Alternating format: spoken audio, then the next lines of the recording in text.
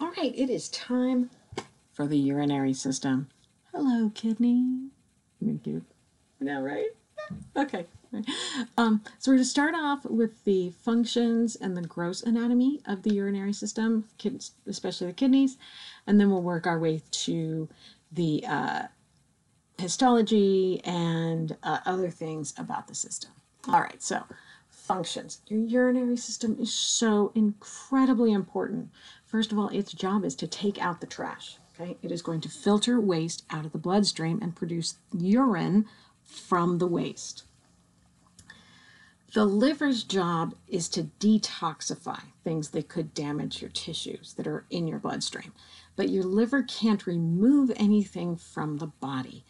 That's the job of the kidneys. That's why kidneys are so incredibly important. Without kidneys, you can't remove waste from the body, uh, from the bloodstream. So, uh, they're going to then store, and uh, the urinary system is then going to store and then excrete that urine out of the body.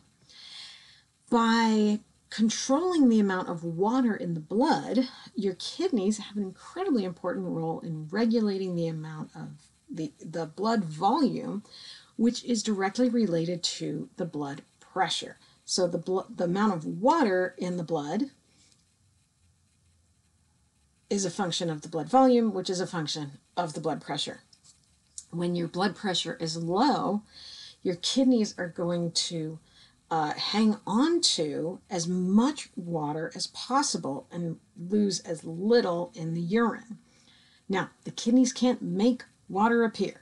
Okay, they can only save as much as possible of what's already in the body. And remember, they do, your body does need to get rid of waste. So some urine need, does need to be made, some water does need to be lost. If your blood pressure is too high, uh, the kidneys can get rid of excess water.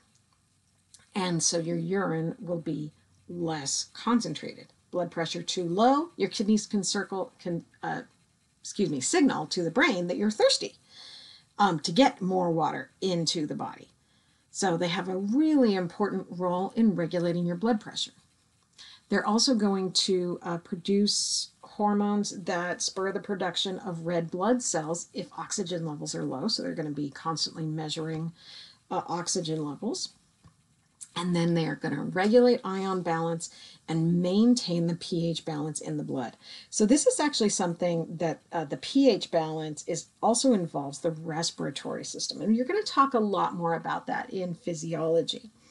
But in this class, what you need to know is that the kidneys can remove excess ions from the blood, either hydrogen ions or hydroxide ions or any other ions that would have an effect on the pH of the blood in order to maintain the, the blood pH within a very narrow range that's healthy.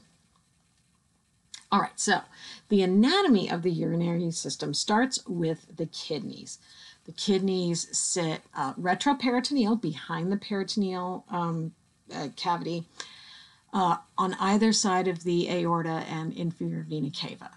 They are connected to the bladder by ureters. Each one has a ureter. They carry ureters carry the urine to the bladder. That's how you remember ureter.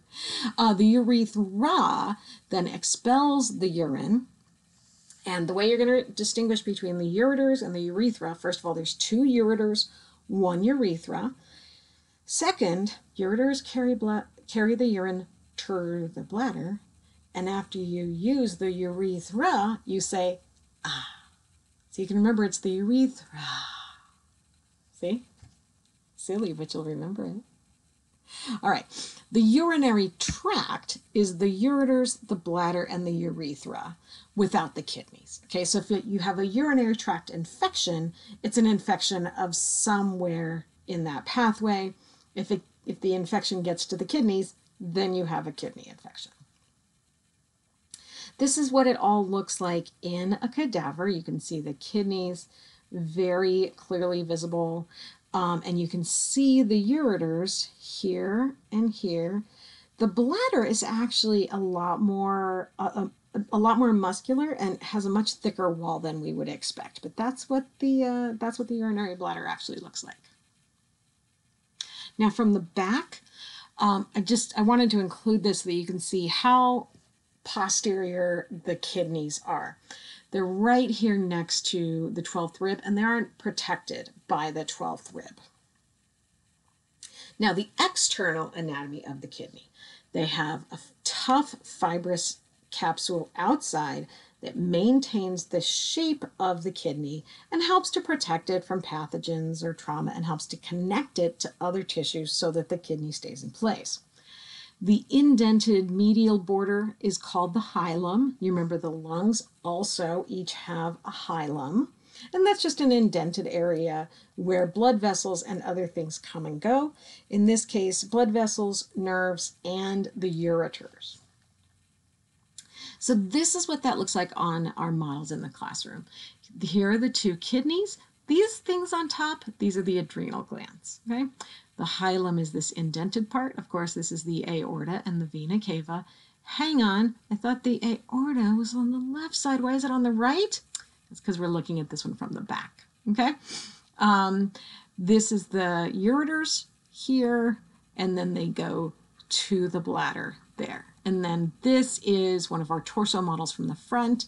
You can see the kidneys there with the adrenal glands there. Spleen, don't get it mixed up with the kidneys uh, renal artery and vein there and there, ureters coming down here to the bladder, and then the urethra going to the outside.